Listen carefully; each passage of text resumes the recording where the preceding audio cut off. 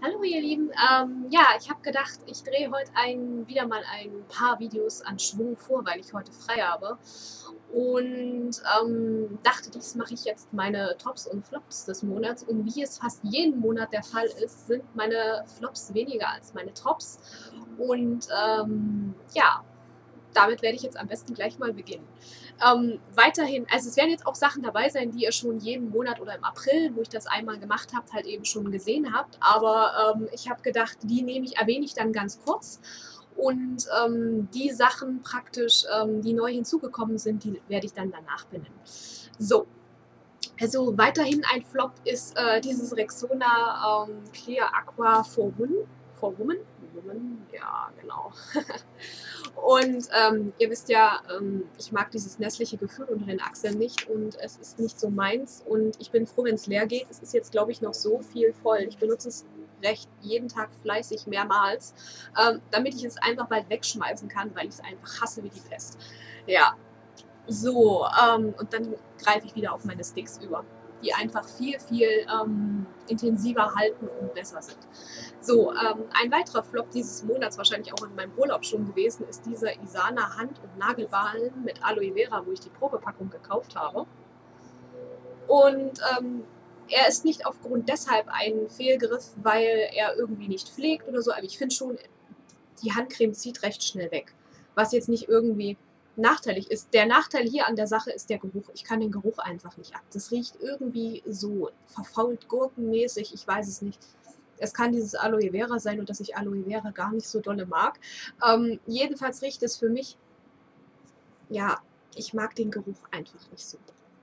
Also es ist irgendwie, ja, nicht so meins. Ich weiß nicht warum, aber deswegen ist es leider, weil ich den Geruch nicht so mag, für mich ein Flop. Obwohl, es ist ja zum Glück nur eine Probengröße und ich werde das wahrscheinlich meiner Oma geben oder so, keine Ahnung. Ähm, oder es noch fleißig weitergebraucht, obwohl der Geruch halt eben echt extrem ist. Aber er verfliegt auch recht schnell. Also ähm, dann wird es wieder etwas angenehmer. Äh, und wahrscheinlich... Ähm, darüber scheiden sich jetzt die Geister. Der Flop des Monats für mich ist definitiv diese ähm, äh, You Rock Eyeshadow Base, ähm, die ja so verglichen wurde mit Urban Decay Primer Potion und was weiß ich nicht allen noch. Und äh, es mag vielleicht sein, dass sie für den kleinen Geldbeutel recht angenehm ist, aber ganz ehrlich, wenn man als junges Mädchen im Monat, sagen wir mal, 10 Euro Taschengeld hat, dann kann man sich entweder die Art Deco holen oder wenn man es günstiger haben möchte, die Manhattan, die noch um einiges besser ist als diese Base hier. Ja, mal abgesehen davon, dass hier nur 2,1 Milliliter drin sind und äh, ich sag's mal einfach so ich habe ja auch viele junge Zuschauerinnen. Und äh, es kommt immer darauf an, was jeder von seinem Augen-Make-up verlangt. Also ich verlange von meinem Augen-Make-up, dass ich nicht den lieben langen Tag äh, ab und an mal nachschminken muss oder so. Wenn ich das morgens auftrage, möchte ich, dass ich, wenn ich abends nach Hause komme, sagen wir mal, oder nachmittags oder so, oder nach der Schule, gehen wir jetzt mal davon aus, sechs oder acht Stunden Schule, ne? Äh, dass das Augen-Make-up noch da ist und dass ich noch irgendwie geschminkt aus, aussehe. Weil sonst brauche ich es mir morgen erst gar nicht drauf machen. So. Und ähm, ganz ehrlich, ich würde sogar so weit gehen, dass diese Eyeshadow Base ungefähr äh, einen besseren Effekt man sogar erzielt, wenn man überhaupt gar keinen Primer trägt. Da habe ich mehr Farbe aufs Lid gekriegt, als wenn ich keinen Primer trage, als diese Base. Nach vier Stunden verwischen die Farben so langsam ineinander und man erkennt überhaupt gar nicht mehr, was man für Farben überhaupt aufgetragen hat. Ähm, nach acht Stunden äh, ist kein Fallout da, aber ich habe dann hier oben schon so leicht so ähm, Punkte, ähm, schwarze Flecken, Stellen von dem Lidschatten, wo es gecreased ist, wo es gar nicht mehr an der Stelle sitzt, wo es sitzt. Also ähm, man kann sich das Geld hier, diese, ich weiß gar nicht, was es waren, 2 Euro noch was oder so, äh, man kann es sich wirklich sparen. Es ist nicht wirklich viel drin, es hält nicht unheimlich lange und äh, Rock am Ring überlebt es auf keinen Fall. Also ich weiß nicht, wer sich das äh, nein. Ähm, wer gesagt hat, dass diese Base gut ist? Ich meine, ich habe ja die vielen Leute gesehen, die sie Stände teilweise aufgekauft haben und sich drei, vier von dieser Base gekauft haben. Ich kann es nicht nachvollziehen. Ich habe wirklich alles mit dieser Base versucht, ja. Ich habe versucht, Lidschatten nass aufzutragen. Ich habe versucht, ähm, sie mit den Lidschatten der Lidschattenpalette von Essence zu verwenden, die dafür geeignet gewesen sind. Äh, ich habe, damit ging es so teilweise, weil es wahrscheinlich dafür auch konzipiert ist. Aber mit anderen Lidschatten, die sonst bei mir bombe pigmentiert sind, wie Catrice, ähm, ja, Art Deco oder was weiß ich was, ich habe keine Farbe auf das Lid gekriegt. Es ist einfach Fakt. Deswegen war mein letzter Look auch so dezent, weil ich einfach 10.000-fach schichten musste, damit man einfach überhaupt von der Farbe an sich irgendetwas sieht. Und ganz ehrlich, morgens, darauf habe ich keine Lust. Nein, da möchte ich das Ergebnis sofort haben und ähm, aber so für die jungen Mädchen unter euch, da würde ich euch eher zu der Manhattan Eyeshadow Base raten. Die ist halb so teuer wie die von Art Deco. Ähm, bringt die Lidschatten etwas dezenter raus. Und für die dezenteren Alltagslooks habe ich die auch zwei, drei Jahre verwendet. Eins ist der Nachteil, sie soll angeblich schnell austrocknen. Okay, meine funktioniert immer noch. Das müsst ihr mal ausprobieren. Oder für noch etwas günstiger soll auch die Rival de Loop äh, Young Eyeshadow Base sein. Die soll ja fast so gut sein äh, wie die von Art Deco. Nur, dass die von Art Deco natürlich noch farbintensivere Ergebnisse rausbringt. Das müsst ihr alles für euch selber entscheiden. Aber die würde ich euch keinen Fall ans Herz legen. Glaubt mir, ihr werdet damit wirklich nicht glücklich werden. Also wenn ihr ein bisschen darauf Wert legt, dass es den ganzen Tag hält und dass ihr am Ende nicht ausseht, irgendwie verwaschen oder so, ähm, dann werdet ihr damit nicht glücklich werden. Ist einfach so. Gut, ähm, genug des Gemeckeres. Kommen wir jetzt mal langsam zu meinen Tops. Ähm, das sind eindeutig mehr diesen Monat gewesen. Ähm, ich sag jetzt mal, Tops, die so geblieben sind, ist eindeutig mein ähm, ähm, Chanel-Puder, ist klar. Das wird auch immer mein Top bleiben. Da will ich jetzt nicht zu viel dazu sagen, weil ähm, es gibt günstigere Alternativen, die auch gut sind. Und deswegen, ähm, das ist jetzt nur für jemanden, der es unbedingt möchte. Weiteres Top diesen Monat, ähm, die Make-up Wattepads. Das sind für mich, wie gesagt, die besten. Eine mit so einer normalen Seite und einer mit so einer geriffelten Seite. Ich weiß nicht, ob ihr das erkennen könnt. Ähm, die ziehen den Schmutz gleichzeitig runter und das finde ich echt gut. Und ähm, die machen ihren Job. Sind zwar etwas teurer, ich kaufe mir die immer, wenn sie im Angebot sind bei Rossmann und im Dreierpack. Ähm, aber sie sind einfach top. Genauso top sind diese Abschminktücher von Baby Young Care, die blauen. Die weißen bringen bei mir gar nichts und die grünen brennen bei mir an Augen. Nur die blauen sind gut. Der Geruch ist ein bisschen nachteilig dieser leichte Film, den man dann auf der Haut hat, aber da ich danach sowieso nochmal nachreinige, ähm, stört mich das nicht so. Es sind für mich einfach die besten. Das Make-up geht schnell runter. Ja, so sehen die Dinger aus. ja, ich glaube, Freak Miss Girl hat die gestern auch schon abends noch in die Kamera gehalten, wo ich ihr Video geguckt habe. Ähm, top diesen Monat ist auch Duschen. Nein, nicht Duschen einmal im Monat, sondern Duschen extrem, weil diesen Monat ist so warm geworden ist, dusche ich mich jetzt nicht pro Tag nur noch einmal, sondern schon mittlerweile zweimal. Das heißt, Duschgels werden bei mir alle. Das ist ein positiver Effekt. Ihr wisst, ich habe Duschgel-Kaufverbot, weil ähm, ich einfach so viel davon rumstehen habe. Ja, und ich hoffe, dass ich es diesen Monat noch hinkriege. Ähm, top diesen Monats auf jeden Fall das Isana Creme Dusche Kirschblüte. Es riecht unheimlich gut. Und ich liebe diesen Geruch einfach auf der Haut, dieses cremige Gefühl und dann diese Kirschblüte, das riecht einfach ähm, so lecker. Und ähm, es ist auch nur noch so viel drin und ich hoffe, dass ich das diese Woche, wie gesagt, noch alle kriege. Und ähm, ja, habe ich geliebt diesen Monat und was ich liebe, brauche ich auch. Äh, weiterer immer noch top ist ähm, meine Tagescreme Terra Naturi Rose Mandel. Benutze ich immer noch gerne, ist unheimlich ergiebig und benutze ich bestimmt schon zwei Monate oder so, bestimmt, auf alle Fälle. Die ist unheimlich pflegend, reichhaltig und nicht zu reichhaltig. Sie macht ein schönes Gefühl auf der Haut, dient wunderbar als Make-up-Grundlage und ähm, bin ich einfach nur zufrieden mit.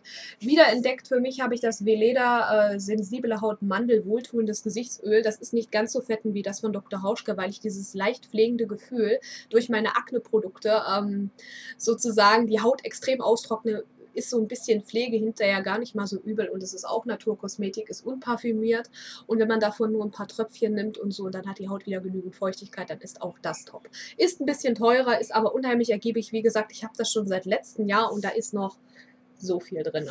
Also ähm, das wird und wird nicht alle und deswegen ähm, absoluter Top von mir. Ach, dieses T-Shirt. So. Jetzt muss ich ein bisschen ordnen. Ähm, weiterhin immer top ist ähm, auf jeden Fall ähm, der Dior Puder- und Foundation-Pinsel. Verwende ich jedes Mal für meinen Puder. Und ich habe ihn erst wieder gewaschen jetzt am Freitag und heute wieder verwendet. Und ähm, ja, ich liebe ihn. Er ist nach dem Waschen unheimlich weich, verliert wenig Haare, hat aber trotzdem genügend Widerstand und tut den Puder nicht nur perfekt stippeln und halt eben so auftragen, sondern auch gleichzeitig noch richtig gut verblenden, sodass man nicht maskiert aussieht.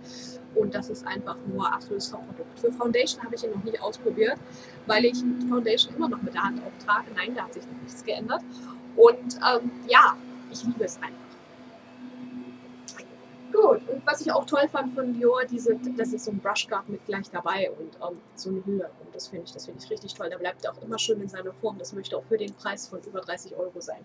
Aber es gibt auch im Drogeriebereich super Pinsel, die ich absolut nur weiterempfehlen kann. Zum Beispiel den Ebelin Puderpinsel. Ähm, der ist super schön und weich. Oder zum Beispiel, muss ich gerade mal gucken, diesen Monat heiß und innig auch geliebt wieder meinen Art Deco ähm, Lidschattenpinsel und auch geliebt den Müller Verblenderpinsel. Eine günstige Alternative zum Verblenden und ähm, richtig, richtig toll. Ich mag den echt gerne und der verblendet einfach so, wie man Verblenden gerne haben möchte und deswegen top. Weiteres Top diesen Monat ist für mich auf jeden Fall dieser Puderpinsel, äh, Rougepinsel von Essence. Den gibt es, glaube ich, noch und der trägt echt schön präzise und Ne? Also richtig auch schön stark pigmentierte Rouges trägt der schön leicht und verblendet direkt auf. Und ich finde das Ergebnis, was er macht, richtig schön.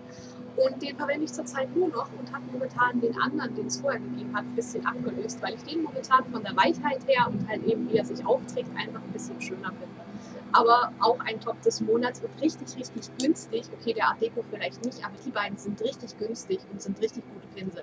Genauso wie der Smoky Eye äh, Blender Pinsel aus dem Essenssortiment kann ich auch nur empfehlen.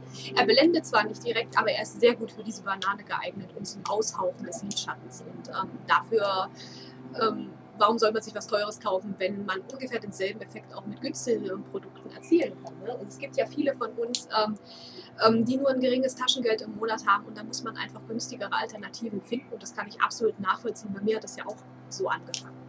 So, auch absolutes Top-Produkt diesen Monat ist der Essence äh, Eyebrow Gel. Gel. Gel. ähm, fixiert die Wimpern, äh, Wimpern, fixiert die Augenbrauen, hält sie da den ganzen Tag, wo sie ist. Ähm, zusammen mit meinem Catrice ähm, Augenbrauenstift in Braun mit so einem Smudge habe ich euch schon super oft gezeigt. Ähm, wird langsam auch kürzer, weil ich es immer wieder anspitzen muss. Ähm, super toll zusammen und ähm, sieht natürlich aus und ja, ich liebe die Dinger. Auch Top des Monats wie immer die Lashes to Kill Catrice. Ähm, die normale, ich habe mir ja wie gesagt in meinem letzten Raubzug ähm, die Ultra Black gekauft. Ich werde die noch testen. Aber ich liebe sie einfach und sie macht so ein schönes Ergebnis und mit Wimpernzahme zusammen ist die King. Und deswegen, ja, günstiges Produkt, mit dem ich echt zufrieden bin. Geliebt habe ich auch meinen ähm, Dr. Hauschka Kajal in Braun diesen Monat. Diesen Monat habe ich die übelste Obsession. Ähm, so sieht er aus, äh, mit der Wasserlinie. Ich mache unheimlich viel zurzeit mit meiner Wasserlinie. Effekte oder andere Lidschatten oder andere Farben. Ihr seht das heute auch zu meinem Look gleich etwas genauer. Äh, und deswegen, ähm, ich bin zwar immer noch nicht so der Lidstrich-Fan, aber so die Wasserlinie habe ich mittlerweile schon so in Gefangenschaft genommen, ja. So, ähm, Highlight diesen Monat. Ähm, mag ich sehr gerne wieder. Viele haben ja auf dieses Produkt letztes Jahr gemeckert. Ich fand es toll, weil es schön dezent ist und ich mag dezente Highlighter. Ich mag das nicht so ähm, speckschwarten Bam. Sondern ähm, Essence Return to Paradise Schimmerpuder. So à la Benefit-Verpackung. Ne? Ich mag es wieder super gerne. Es hat so ein leichte Rosé, ich habe das euch schon geswatcht, hat so einen leichten Rosé-Schimmer, ist ganz dezent, habe ich heute auch drauf. Ihr seht das, das sieht ähm, super ähm, dezent aus, nicht zu viel und ich mag den sehr gerne als Highlighter. Highlighter unter den Augenbrauen habe ich heute aus der Fairy Tale LE, ähm, diesen glitzernden, weil ich heute mal ein bisschen bam wollte. 0 in 01 Pixie Dust. Könnt ihr es erkennen? Ja, ich glaube schon. So große Schriften fokussiert die Kamera immer. Total seltsam. Hm, naja, muss ich mir aber doch irgendwann nochmal an eine mit Autozoom zulegen. Naja, es kommt. Nicht in nächster Zeit. So, das ist so ein bisschen glitzernd und das habe ich heute mit die Augenbrauen gegeben. Ist auch ein Favorit des Monats, so für Effekte auf dem Auge, im Innenwinkel oder so. Ja, auf jeden Fall. Abschminkroutine diesen Monat immer noch Favorit. Ich werde es noch aufbrauchen. Ich werde noch heute einen Haul hochladen. Da habe ich etwas Neues gefunden, was ich hoffentlich lieben werde, auf Empfehlung gekauft. Ähm, dieses BB Young Care Reinigungsmousse sanfte 3 in 1 für alle Hauttypen. Super klasse. Wenn man schüttelt, ergibt es so eine, ähm, wie so eine Spül. Konsistenz. Das macht man dann hier oben mit so einem Pump dann halt eben raus auf ein Wattepad und dann reinige ich das Gesicht nach den Tüchern damit nochmal nach. Ja, und dann dürfte eigentlich nichts übrig bleiben. Das ist schon meine zweite Buddel, kann ich echt empfehlen. Guter Preis, gut hautverträglich, also ähm, kann ich nicht meckern. Äh, was habe ich denn noch? Ja, Favorit diesen Monat auch Baby Young Care Feel Good Fresh. Wenn ich gebadet habe, creme ich mich ja immer auch nochmal ein ähm, benutze ich die BB Happy, BB Happy Body Lotion für normale Haut mit dem sonnigen Duft von Melone. Die ist echt lecker. Da sind 400 Milliliter drin. Und die riecht wirklich wie dieses Deodorant und dieses Duschgel. Einfach nach diesem Limonengeruch, Melonengeruch. Das ist einfach pur dieser Melonengeruch. riecht extrem gut. Kann ich echt empfehlen. Duft hält relativ lange, nicht so lange wie das von Dr. Hauschke, aber okay. Und es pflegt auch echt schön und macht die Haut geschmeidig. Also kann ich echt empfehlen. Äh, was habe ich noch? Monatsfavorit. Äh, BB Soft Deo Balsam für empfindliche und rasierte Haut ohne Alkohol. Neutraler Geruch. Sehr, sehr gut. Mag ich immer zum Nachsprühen. Über den Tag verteilt. Äh, habe ich noch irgendwas? Ähm, Adeco Eyeshadow Base ähm, ganz, ganz wichtig für mich. Und ähm, ja, mein absoluter Top-Favorit. Wir mussten uns am Anfang erst ein bisschen miteinander anfreunden. Und was ich nie gedacht hätte, Rival de Loop Natural Touch Concealer in, glaube ich, der hellsten Farbe 01. Äh, diesen Monat absoluter Top-Favorit. Ich habe ihn erst als schlecht erachtet, weil ich dachte, er wäre zu cremig, aber er ist absolut mein Favorit diesen Monat geworden und hat den Maybelline Jade locker abgelöst. Also er macht dasselbe Ergebnis und hält das ganz gut über Tag. Natürlich nicht ewig, aber trotzdem so, wie ich das gerne von einem Concealer möchte. Ja. Und ist natürlich heller als meine Foundation.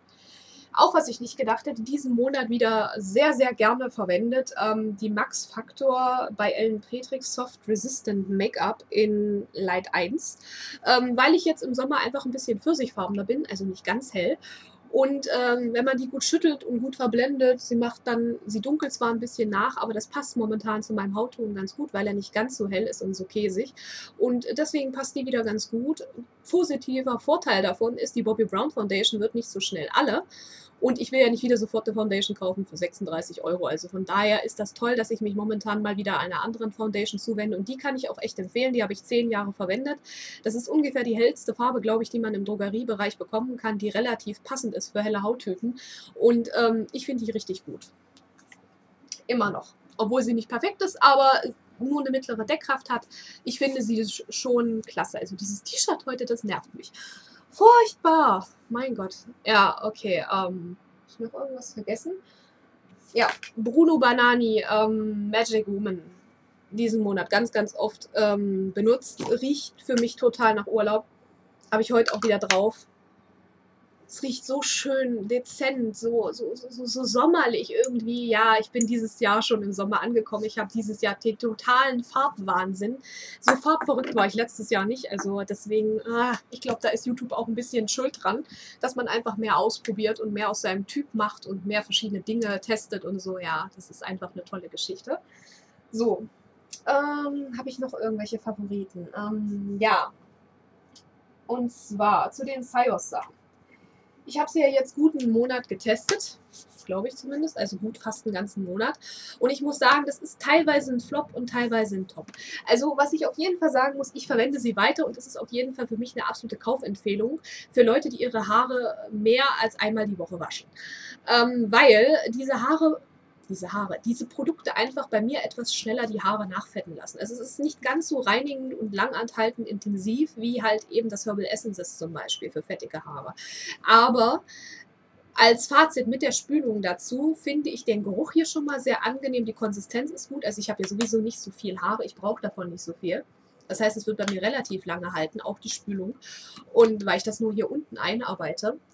Und ich muss dazu sagen, die sind so gut, ähm, dass sie halt einfach, wenn man die Haare Luft trocknen lässt oder föhnt, einfach ein perfektes Ergebnis mit den Haaren machen und äh, die Haare schön weich machen, äh, sie gut lange riechen und ähm, ja, für den Tag, ein, zwei Tage sind sie einfach so, wie ich mir die Haare wünsche, einfach perfekt. Eins ist dann Nachteil ist halt eben so nach dem zweiten Tag spätestens, fetten sie bei mir dann extrem schneller nach.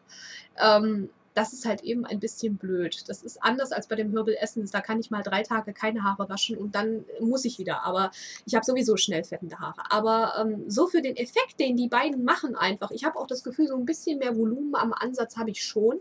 Ich kann meine Haare schöner aufbauen. Ich kriege auch leichte Naturlocken, leicht voluminöse, so wie ich das auch heute habe. Und ähm, das gefällt mir ganz gut, dass ich die auf jeden Fall zu Ende aufbrauchen werde und mir überlege, die nachzukaufen. Sehr, sehr schönes Produkt. Also ähm, von mir gibt es dafür für Leute, die halt eben jetzt, was weiß ich, nicht so schnell nachfettende Haare haben. Es ist ja auch eigentlich eher für feines, kraftloses Haar und sie möchten ein bisschen Ruhm, ne? Ist es eine gute Sache. Aber ihr müsst halt eben eure Haare regelmäßig mehrmals als einmal die Woche waschen. Also da müsst ihr schon dahinterher sein. Ich bin ja sowieso ein Mensch, der seine Haare alle zwei Tage wäscht. Mir macht das nichts aus und deswegen, ähm, äh, ja, finde ich das frisch gewaschene Haaregefühl einfach toll. Also top. Weiter habe ich ja auch gekauft dieses ähm, Puramed Waschlotion schon, zartes Hautgefühl, pH-Wert 5,5. Ich habe es jetzt ausgetestet und der Geruch ist bewöhnungsbedürftig, aber in Ordnung. Es steht aber nicht direkt drauf, dass es ein Anti-Pickel-Produkt ist. Ich würde jetzt sagen, es ist ein Produkt für jedermann, der so, also für Haut, die jetzt nicht direkt Akne hat wie ich. Ich habe ja manchmal so diese Akne-Schübe. Ähm, ich brauche das, ähm, ich benutze das, wenn meine Haut recht gut ist. Also ähm, für Leute, die ölige Haut haben und äh, sie wollen diesen Teilglanz vom Gesicht runternehmen, aber wollen es ähm, schonend die Haut dabei, also die Haut dabei schonen und es nicht ganz so mit Chemie, Chemie zuklatschen. Dann ist das eine richtig gute Sache, weil es eine richtig gute Waschlotion ist, die leicht schäumt, das Gesicht gut einschäumt, gut abnehmbar ist und den Teilglanz auch wirklich richtig gut runternimmt. Nicht zu viel und man hat danach auch kein angespanntes Gefühl im Gesicht. Also es ist eigentlich für 89 Cent für 500 Milliliter und für das, was es letztendlich verspricht, ja, für die tägliche Pflege, für Kopf, Haut, ja, Haar, ist es eigentlich eine schöne, milde Sache, muss ich wirklich sagen. Und es schützt die Haut auch. Und diese milde Pflege in Kombination jetzt zum Beispiel mit dem La Roche-Posay Gesichtsreiniger, zu dem ich gleich komme. Wir beide sind Freunde geworden. Ich habe ihn schon fast zur Hälfte aufgebraucht.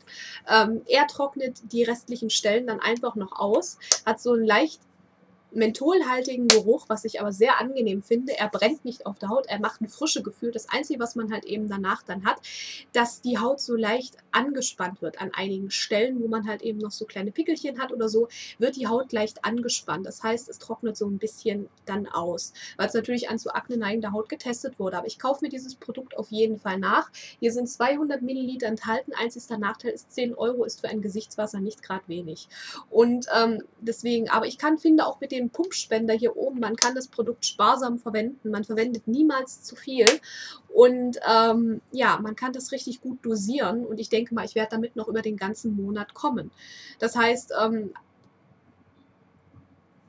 es ist einfach ein Top-Reinigungsprodukt für Leute, ähm, die Akne haben oder zu Akne neigen und so stärkere Pickelchen mal hier und da kriegen. Es ist einfach, es hält meine Haut im Griff und das ist ja unbedingt das, was ich möchte von einem Reinigungsprodukt, auch wenn ich dafür etwas mehr ausgeben muss. Aber es gibt sicherlich auch gute, günstige Gesichtsreiniger für Leute, die nicht so viel Probleme haben. Und ähm, das hier kann ich auf jeden Fall wenden, also empfehlen. Ich würde es auf jeden Fall, ich werde es auf jeden Fall aufbrauchen. Ähm, ähm, ja, wenn meine Haut etwas besser ist, werde ich es wieder verwenden. Momentan komme ich gleich zum nächsten Produkt. Äh, verwende ich ja das La Roche-Posay äh, schäumendes Reinigungsgel für fettige und empfindliche Haut. Ich habe ja gesagt, ich würde es erst verwenden, wenn ich das andere aufgebraucht habe. Fakt ist aber, ich habe jetzt wieder vor zwei Wochen oder so, oder nicht vor zwei Wochen, jetzt relativ vor ein paar Tagen einen Abneschub gekriegt und ähm, meine Haut geht es einfach etwas schlechter und ähm, habe gedacht, probierst du das mal aus, ob es wirklich seine Wirkung hält und testest es einfach mal über eine Woche und ähm, Fazit ist einfach, es riecht sehr neutral, genauso wie das Gesichtswasser. Der Geruch kommt mir irgendwie bekannt vor. Ich kenne den irgendwoher von irgendeinem Reinigungsprodukt. Das erinnert mich daran. Es schäumt nicht so sehr. Man kann zwar stark aufschäumen, aber der Schaum ist ganz, ganz fein. Und ähm, es ist sehr sanft zur Haut, aber es trocknet die Haut schon extrem raus. Also für stark trockene Haut würde ich dieses Produkt nicht empfehlen, weil es sehr, sehr stark austrocknet. Und auch in der Kombination mit dem Gesichtswasser man danach schon ein angespanntes Gefühl und ein Kribbeln an der Haut schon so spürt. Also man spürt, es passiert irgendwas. Das Gesichtswasser zum Beispiel mit diesem Puramet zusammen ist nicht ganz so krass. Ähm, ich finde es aber trotzdem gut, weil ich als öliger Hauttyp, ich liebe das, wenn mein Talg morgens und abends runtergenommen wird und wenn meine Haut einfach das Gefühl rein. Es ist jetzt nichts mehr drauf, es ist einfach rein. Und ähm, ja, ich finde es toll. Es hat meine Haut wieder in Schuss gebracht. Wie gesagt, vor einer Woche hatte ich wieder so einen deftigen Schub gehabt. Und äh, das habe ich immer mal wieder. Das kommt halt eben auf meine Lage drauf an. Manchmal hat das auch was mit der Psyche zu tun. Meine Hautärztin hat auch gesagt, Psyche und ähm, Haut spielen ganz eng im Einklang miteinander. Sobald man Stress hat, kriegt man Pickel. Das ist ja nicht umsonst, dass es diese Stresspickelchen gibt oder falls man irgendwelche Probleme hat oder so. Ähm, ja, und äh, damit habe ich es einfach jetzt wieder in den Griff gekriegt, verwende das jetzt in Kombination mit dem Gesichtswasser und bin zufrieden. Nachteil auch hier daran ist, 200 Milliliter genauso wie das Gesichtswasser, kostet aber leider 11 Euro. Man muss das halt eben, ihr müsst das für euch selbst entscheiden, was für euch in Ordnung ist und was nicht, äh, wie viel ihr für eure Pflege ausgeben wollt. Ich habe einfach nach langen Jahren entschieden, nach immer wieder Discounterware testen oder halt eben äh, Drogerie, dass ich einfach mehr möchte für meine Haut und dann wurde es dann auch leicht besser. Aber ich kann auch sehr diese ähm, etwas billigeren Sachen empfehlen. Die sind teilweise manchmal sogar besser als zu teure Produkte. Also es ist hier und da immer ein Vorteil und ein Nachteil. Ihr müsst das einfach selbst austesten und für eure Haut entscheiden. Und ähm, ihr kennt eure Haut selbst am besten und wisst, was ihr gut tut. Und danach müsst ihr dann handeln. So handle jetzt erstmal nur ich. Ich wollte euch dann nur ein paar Tipps geben, nur damit ihr Bescheid wisst, ähm, wie mein letztendliches Fazit dazu ist. Ich mache jetzt natürlich noch einen Langzeittest. Und wenn sich da irgendwas verändern sollte, wie was ich jetzt gesagt habe, dann werde ich euch darüber berichten und es euch mitteilen. Ähm, gut, ähm, dann möchte ich natürlich heute noch, äh, habe ich jetzt noch irgendwas vergessen? Ja, ähm, Lieblingsfilm diesen Monat, das letzte Einhorn. Ähm, ich habe eine totale Macke auch mit dem Soundtrack und dem Lied und äh, generell, ich liebe momentan epische Soundtracks, äh, sowas wie Der Mann in der eisernen Maske, Gladiator. Ähm, hört euch mal das Remember Me von Troja, den Soundtrack an. Alles in meinem Kanal unter den Favoriten. Da könnt ihr dann immer so erkennen, ähm, was so meine Lieblingslieder momentan sind. Das sind auf jeden Fall für mich auch Tops dieses Monats, auf jeden Fall. Und dieser Film halt. Und ähm, was auch ein Top dieses Monats ist, ist ähm, Wasser mit Kohlensäure, weil ich einfach keinen Bock hatte auf heiße Getränke. Und äh, Dunhills Weingummis, ähm, eisgekühlt aus dem Kühlschrank. Ich liebe sie. Ähm, abends oder so, das schmeckt einfach so unnachahmlich toll und lecker. Und ihr müsst die mal testen. Die gibt es bei uns im Netto im Angebot immer mal wieder. Ansonsten habe ich noch irgendein Favorit. Gucken, ob ich irgendwas vergessen habe. Ähm, ja, Favorit diesen Monats ist auch noch dieser Gel-Eyeliner von Essence, ähm, die in, ich weiß nicht, ob es den bei euch noch gibt, der 03 BBC All Night Blue. Der ist wirklich klasse. Ich habe den heute auch auf der Wasserlinie. Da komme ich gleich zu meinem ähm, Face of the Day. Das mache ich gleich mit dazu. Äh, ich habe heute mal etwas ausprobiert. Ich zoome euch mal näher ran.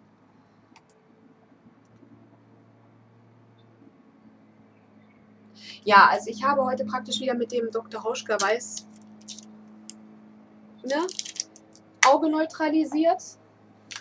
Dann habe ich mit dem ähm, 42 Mystic Purple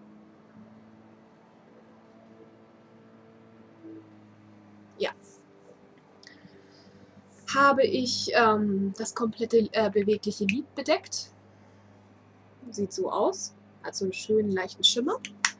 Und dann habe ich in der Lidfalte, also hier, habe ich ein wenig ähm, aus der Karamelle Ale die 1002 Peacock Blue ähm, in die Lidfalte gegeben. Dieses schöne Petrol. Ähm, was aber sehr kräftig war. Das musste ich gut verblenden. Ähm, dann habe ich von der You Rock die Lidschattenpalette diesen minzfarbenen Ton in den Innenwinkel gepackt, also hier praktisch so und nach außen schön verblendet und habe das kombiniert. Und dann habe ich diesen anthrazitfarbenen und diesen dunklen Ton miteinander ge äh, gemixt und praktisch auch noch in die Lidfalte gegeben, um das Ganze noch so ein bisschen dunkler zu machen, Tiefe zu geben und noch ein bisschen auszurauchen, weil mir dieses Petrol ein bisschen zu hell war. Gut, und dann habe ich halt eben mit dem Weiß von Dr. Hauschka wieder verblendet, mit meinem Müller Pinsel sozusagen und ähm, habe auf die Wasserlinie den BBC All Night Blue gepackt mit dem angeschrägten Lidschatten, äh, mit dem angeschrägten Pinsel von Essence auch. Das klappt ganz gut. Ich darf ihn nur vorher nicht so anfeuchten. Und das ist praktisch das Ergebnis. Mal für meine Verhältnisse etwas kräftiger. Ich habe ja gestern mich noch mit der X-Minky unterhalten und da haben wir uns über kräftige Looks unterhalten. Unterhalten, unterhalten. Und ähm, bis frühst 2 Uhr und ähm, ja, da habe ich einfach entschieden, jetzt testest du mal was aus. Du bist jetzt angefixt. so, ähm, auf dem Wangen trage ich ähm, das Defining Duo Blush 010 Raspberry Ice Cream. In diesen wunder wunderschönen Farben. Ist echt von der Pigmentierung her genau richtig. Man kann es schön schichten und auftragen. Und darüber, wie gesagt, das Return to Paris, äh, Paradise Essence Schimmerpuder, das es leider nicht mehr gibt. Ich fand es sehr, sehr gut. Ich hoffe, sie bringen dieses Jahr im Sommer von Essence vielleicht auch sowas ähnliches raus. Das würde mich total freuen. Dann nehme ich das auf jeden Fall mit. Und äh, was ich auf den äh, Augen ist klar, wie immer meine Catrice Lashes to Kill.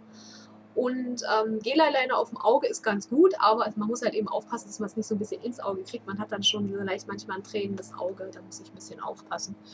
Aber ich finde so für meinen ersten Versuch, äh, dass es ganz schön geworden ist. Und im Sommer würde ich dann nur das auf der Wasserlinie tragen und ein bisschen Mascara und ein bisschen kräftigere Lippen. Und ähm, ja, das ist praktisch der Look. Haare ein bisschen voluminöser heute. Und ja, dieses T-Shirt, was mich zum Wahnsinn treibt. Ähm, so ein bisschen so eine leichte Dirndlbluse oder wie man das nennt. Ähm, so eine Rosenkette. Ich kann euch nochmal ranzoomen. Hätte ich gar nicht machen müssen und diesen Monat auch ein Top-Favorit von mir ist ähm, Ohrringe oder Stecker in verschiedenen Formen und Farben und auf der einen Seite unterschiedlich, als, also praktisch auf der einen Seite so und auf der anderen Seite wieder ganz anders. Und das dann so hier, ne, so in passend zum Look und dann auf der anderen Seite praktisch schwarz. Und so habe ich das in verschiedenen Formen. Auf der einen Seite so ein Karo-Herz und auf der anderen Seite eine Perle oder so. Ich liebe, dass wir das in meinem äh, Contest-Beitrag für die liebe Beauty-Mädchen schon gesehen haben. Ich liebe das total. So ein bisschen so was Verspieltes, sowas. Irgendwie so ein Trend. Ich werfe damit so einen leichten Trend momentan. Irgendwie was nicht so alltäglich ist oder so. Keine Ahnung. Also vor Jahren gab es auch mal den Trend, nur ein Ohrring im Ohr oder so. Das fand ich doof. Aber halt eben so verschiedene Formen und so. Und äh, ja, das liebte ich diesen Monat auch. Richtig toll.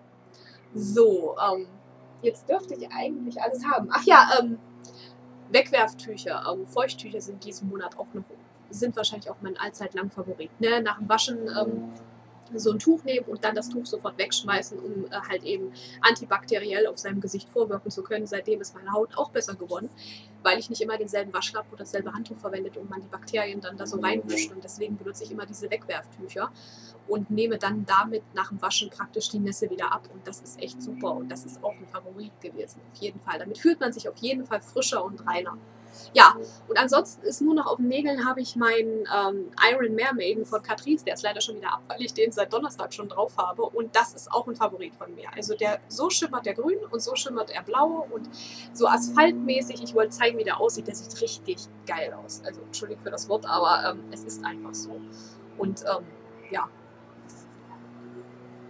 ich liebe ihn. Den Iron Mermaid von Catrice ist eine richtig besondere Farbe und äh, so eine richtige Asphaltfarbe, was ganz Besonderes. Er deckt zwar nicht in einer Schicht, sondern nur erst in zwei, aber klasse Farbe und ich würde ihn immer wieder kaufen.